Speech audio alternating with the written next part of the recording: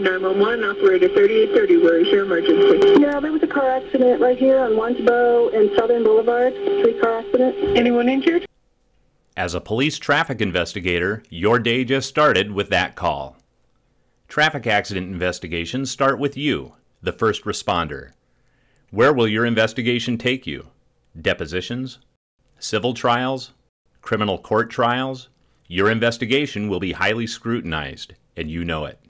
Collection of evidence, factual diagrams, mathematical analysis, all part of your endeavor to determine what and or who caused the collision.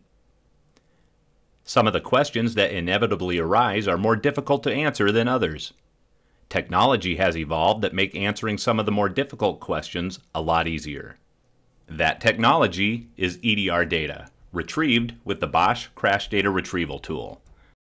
The Crash Data Group Premium CDR Toolkit was specifically designed for law enforcement and contains everything you need to retrieve EDR data when you need it.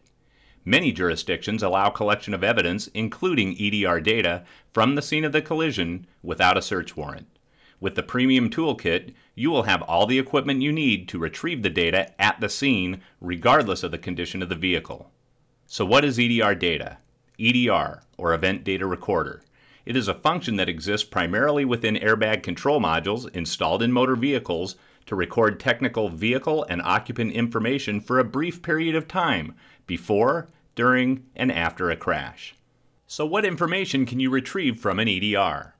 Most late model vehicles on the road today contain at least 5 seconds of pre crash data that includes vehicle speed, delta V, brake status, throttle position, steering input, seatbelt status, occupant detection, and more.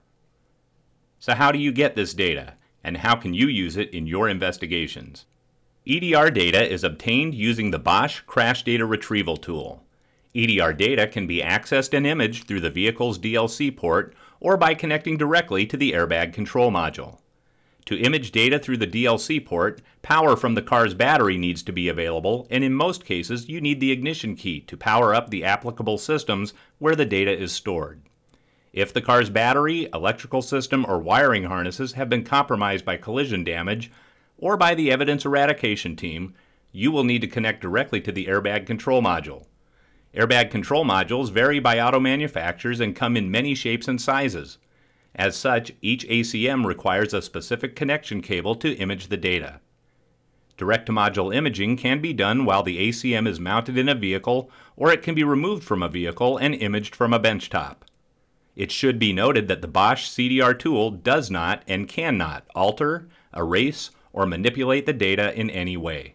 It simply images or copies the data from the EDR and generates a report containing the data. Use of EDR data greatly strengthens the validity and accuracy of traditional accident investigation methodologies and gives a more detailed, unbiased look at what was happening prior to impact.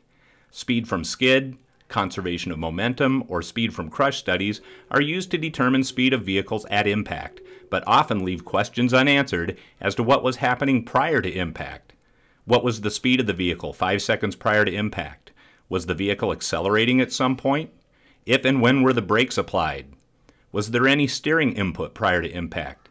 EDR data can answer those questions and more. EDR data can be used to determine who hit whom first in an inline chain reaction crash. Hit and run cases involving parked unattended vehicles.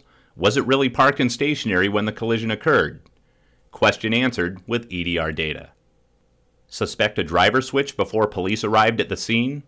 Many vehicles contain EDR data with seat position and weight classification sensors that can provide insight as to the physical size of the driver at the time of the collision.